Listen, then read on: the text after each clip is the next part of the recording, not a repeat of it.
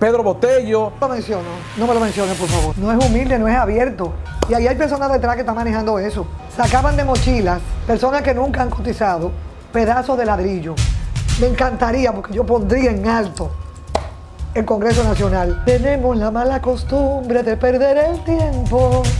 Claro que me voy a vacunar. Bien. Mas, sin embargo, un ministro de este gobierno me dijo que yo debía ponerle un email y decirle eh, lo que yo quería tratar con él, porque no me podía recibir si yo no hacía eso. Y por eso Y yo- mañana voy a leer la carta.